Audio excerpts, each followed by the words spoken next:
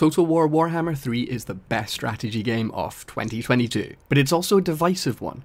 Creative Assembly tipped over the traditional Total War campaign structure, replacing it with an experimental race, with the game's major factions rushing to claim the power of an imprisoned bear god. With less of a sandbox structure and frequent trips into the various realms of chaos, it plays like no other Total War.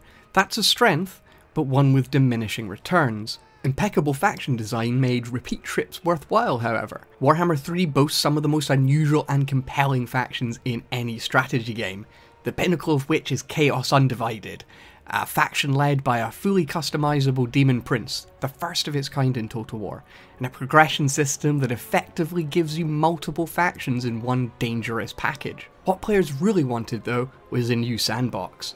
With Immortal Empires, Creative Assembly came through, this free DLC is available to everyone who owns the full trilogy, and squashes all three games into one mega campaign. 278 factions, 86 playable legendary lords.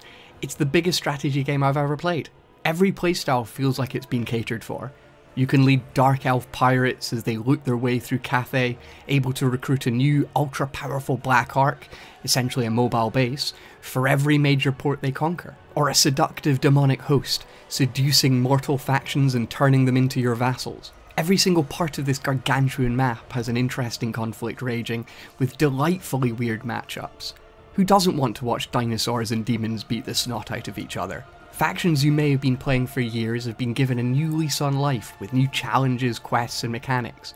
Features like diplomacy and the economy, meanwhile, which Total War has often struggled with, are now effective tools that genuinely feel fun to play around with. So many of the criticisms I've held onto for years have been washed away. Even though Immortal Empires is still in beta, it's already the best that Total War has ever been, making Total War Warhammer 3 an essential addition to your strategy library.